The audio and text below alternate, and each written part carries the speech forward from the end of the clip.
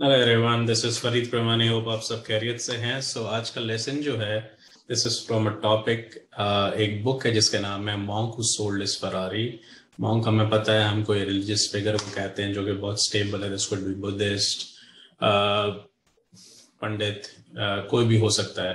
You know maulvi that could be anything और religiously binded जो ज़्यादा स्पिरिचुअली अपना टाइम स्पेंड करता है.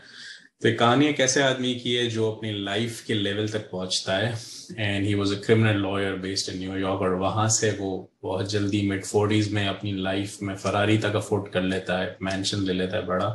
बट एक पॉइंट इन टाइम आता है ज़िंदगी में जब वो सब छोड़ देता है बिकॉज़ उसके हार्ट में चेस्ट में पेन होता है, वो हॉस्पिटलाइज हो जाते हैं उस वक्त उसको रियलाइज़ होता है दैट उसने लाइफ में बहुत भाग दौड़ कर ली, मगर उन सब का फ़ायदा नहीं हुआ he was not able to lead happy life and उस वक्त वो सब बेच देता है एंड अपने आप को एक नई लाइफ की तरफ़ डालता है। और इंडिया में कोई एक छोटे विलेज में चला जाता है जहाँ पे उसको एक मॉन्क मिलता है और उससे वो ज़िंदगी गुजारने के उसूल सीखता है। So what you learn from that monk और मास्टर वॉज़ एक प्रॉमिस लेता है वो मास्टर उससे कि मैं तुम्हें सिर्फ़ इसलिए सिखाऊँगा मुझे पैसे की ज़रूरत नहीं है बट आई वॉन्ट तुम ये नॉलेज ले जाके आगे फैलाओ बिकॉज़ बहुत सारे लोगों को भी ज़रूरत है दुनिया डिप्रेशन में। तो आज के मुश्किल टाइम में शायद आपको ये लेसन सीखने मिला। तो आइडिया ये है कि, ये कहता है कि एक सैमुराई पहलवान होता है यू नो लंबा चौड़ा, और वो अपने घर से बाहर निकलता है, और अपने एक छोटा सा उसने गार्डन बाग बनाया हुआ होता है, जिसमें रोज फ्लावर होता है, और वो रोज की तरह अपने रोज फ्लावर की स्मेल को सूंघता है, खुशबू को अपने गार्डन में। और खुश होता है और वो फिर अपने वर्कआउट में ट्रेनिंग में लग जाता है। और एक दिन क्या होता है?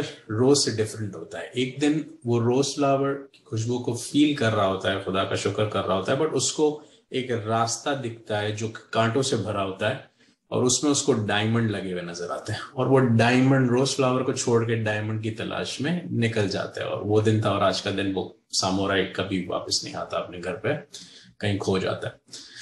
तो ऑथर जो है वो मॉन्क स्टोरी से तीन लेसन देता है। लेसन नंबर वन ये बताता है कि जो गार्डन होता है, ये हमारा माइंड होता है। ये हमारे कर्मा होते हैं, जिसको लॉ ऑफ़ कर्मा कहते हैं। हम अच्छे काम करते हैं, लोगों के लिए अच्छे सीड्स लगाते हैं। हमारा फ्लावर रोज की तरह होता है। It looks good smell good it feels good right हम लोगों के लिए कांटे बिछाते हैं, हमारा फ्लावर ही नहीं उगता। बिटर होता है पॉइजनस होता है, उसको इंसेक्ट्स खा जाते हैं। ना हम खुद अपनी ज़िंदगी से खुश हो पाते, ना कोई हो पाता है। तो पहला कॉन्सेप्ट है कि अपने माइंड को गार्डन की तरह ट्रीट करो। उसमें अच्छा डालोगे अच्छा बाहर आएगा, लोगों के रे अपने रे बुरा डालोगे, बुरा आएगा। ठीक that's concept number one concept number two is be like a samurai samurai वो आदमी होता है जो कंसिस्टेंट होता है कंटिन्यूस इंप्रूवमेंट करता है। तो लंबा चौड़ा पहलवान इसलिए होता है कि वो बहुत ज़्यादा खाता है और वो कुछ खाता है जो उसको स्ट्रेंथ देता है, उसको लेजी नहीं करता राइट बिकॉज़ उसको एक लेवल ऑफ़ रेसलर से लड़ना होता है। वो कहते हैं लाइफ भी इसी तरह की है। That's where we get the concept from Japanese called continuous learning continuous improvement ये लेसन हमको सामोराई की लाइफ से मिलता है। और तीसरा लेसन जो बहुत इंपॉर्टेंट आज की ज़िंदगी में है कि everybody of us is very blessed हमें ज़िंदगी में खुशियाँ मिली हुई हैं बट हम अपने रोज को छोड़ के डायमंड की तलाश में निकलते हैं और खुदा की दी हुई चीज़ों का शुक्र नहीं करते जहाँ डिप्रेशन आता है। तो आपने देखा ये मॉन्ग जो लाइफ में सारी चीज़ें पा चुका था he was a multi millionaire एक मेंशन था, एक फरारी थी ट्रू स्टोरी वो छोड़ के रिलीजियस तलाश में निकलता है, अपने आप को पाने की तलाश में निकलता है। तो आज वो लोग जो क्राइसिस में कोविड में बिज़नेस लॉसेस में जॉब लॉसेस में बैठे हुए हैं, वो सिर्फ़ डिप्रेस नहीं है। बहुत सारे लोग ये सब चीज़ को हासिल करके भी डिप्रेशन में यानी there is something which is missing which is being close to God which is close to religion any religion that you follow but appreciate God keep God in your life talk to him so that you get out of it और I hope अपने रोज को appreciate करना और दूसरे के diamond की तरफ़ मत देखना।